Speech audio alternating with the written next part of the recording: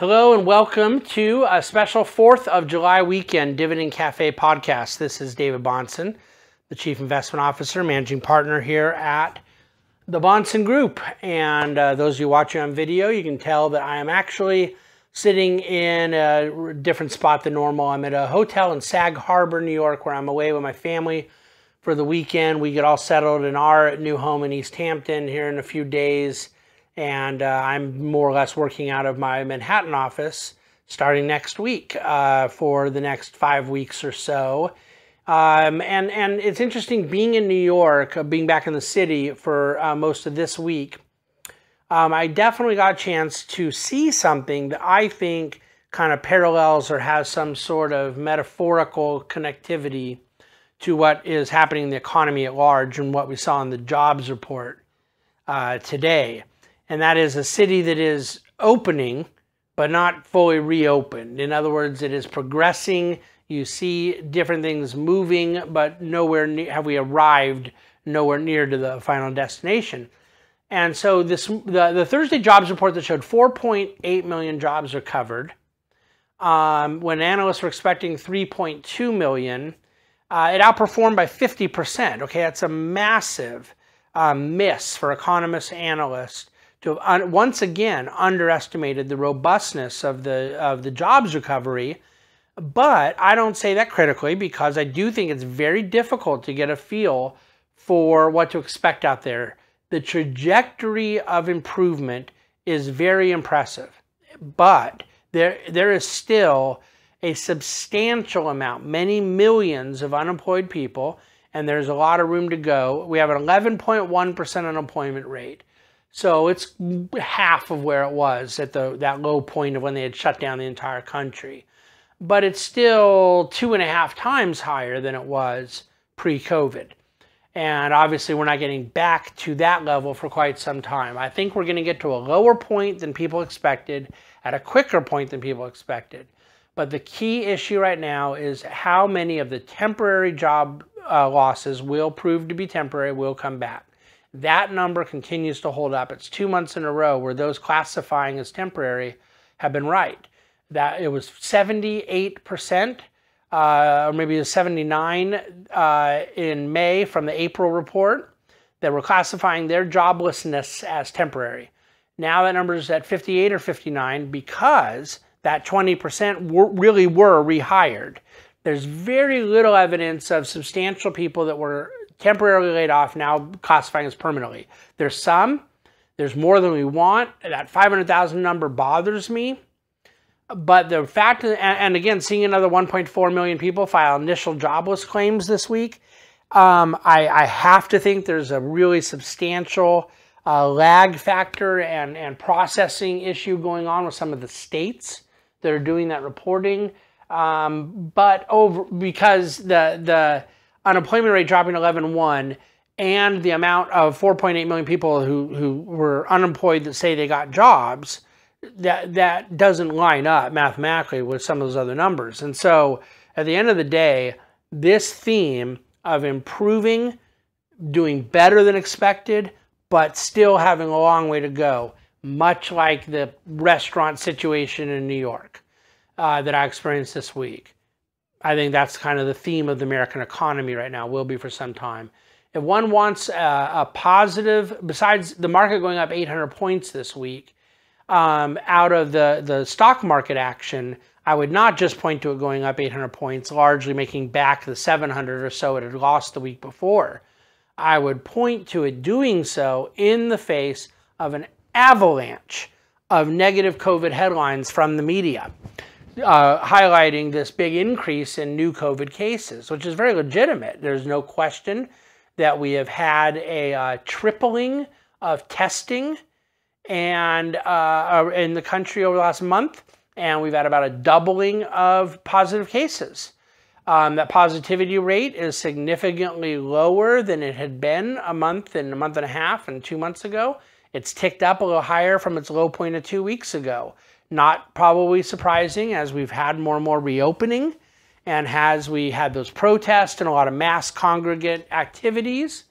Um, but the really encouraging thing for anyone who's trying to be objective and pay attention is that with a big increase in COVID cases that's now been going on for several weeks, we have not had an increase in mortalities.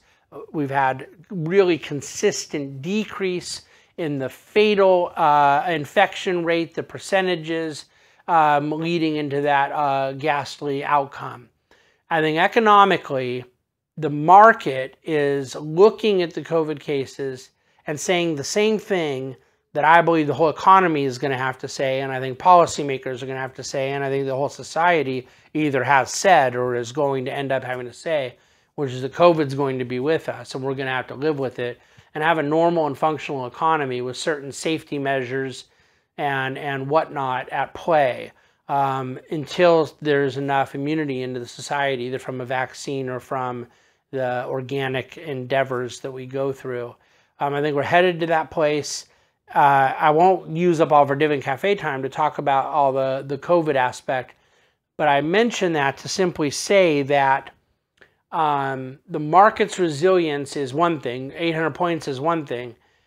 Doing it with that case escalation in Florida and Texas, and and the way the media sort of covered it with governors shutting down bars and new restrictions here, new restrictions there.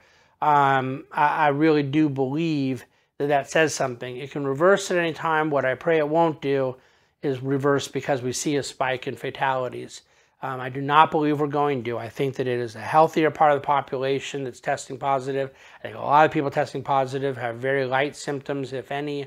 Um, that is some data after data piece that I'm reading, studying individual states, significant amount of medical testimony to the fact that we're just simply not in the same um, arena that we were with the coronavirus in March and early April, mid-April, etc. Um, look, the, the, the first quarter of 2020 was the ninth worst quarter in market history. The bulk of the quarters that were worse, I think it's something like six or seven of the other eight in front of it were from the uh, Great Depression era. And now the second quarter that ended this week was the ninth best quarter in market history. So you had um, uh, just massive drop, drop down, you had a massive recovery. There's still a lot of work to do. Uh, the bond markets have mostly fully recovered.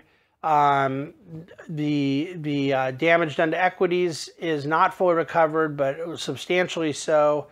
Small caps had a huge comeback. Emerging markets have done quite well.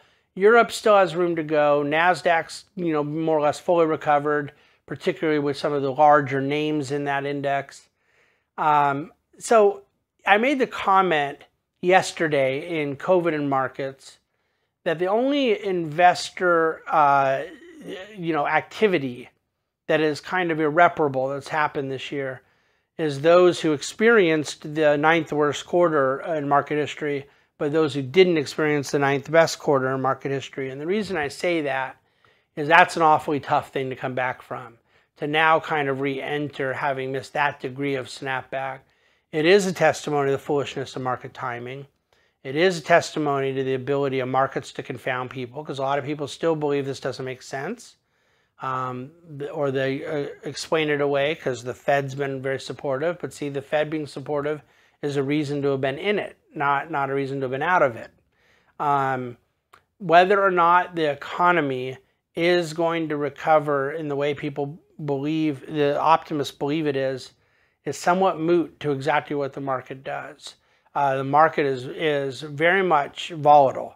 Um, you were up 800 points this week and you're down 800 points the week before. You know, no one can run a victory lap right now and, and certainly the bears that want to see an extension of the market distress um, probably can't be feeling too good about the way the last three months has gone.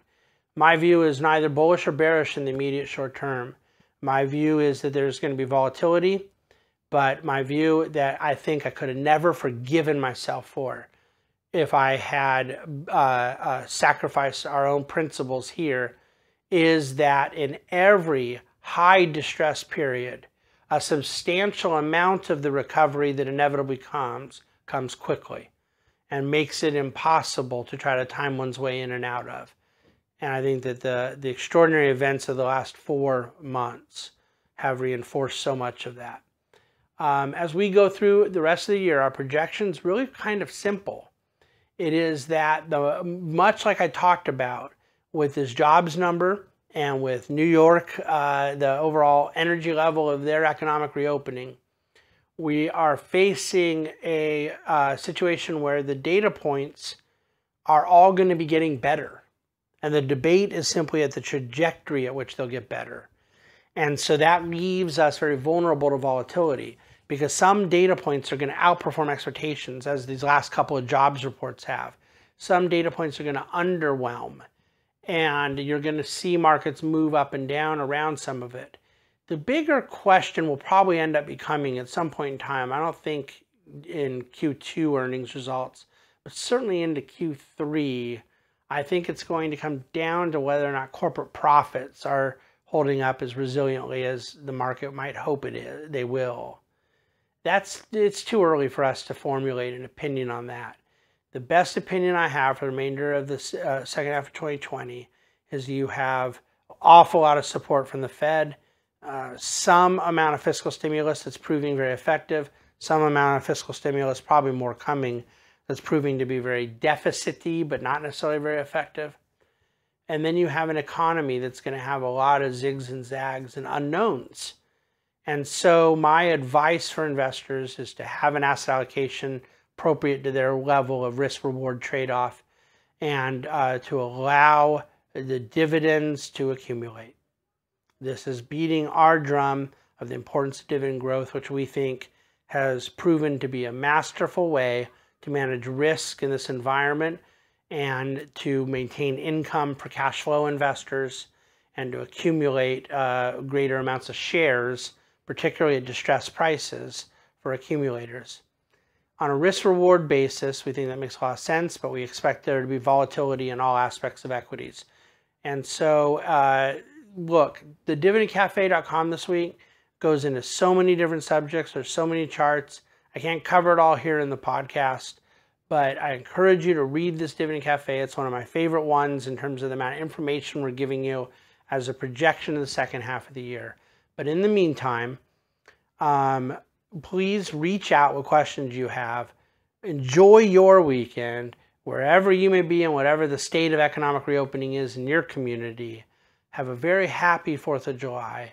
And please know that we here at the Bahnsen Group uh, celebrate this great country with you and we look forward to further dialogue about the state of the economy in the second half of this year and any questions you have about your own portfolio and financial planning. Thank you so much for listening to the Dividend Cafe. Happy 4th of July.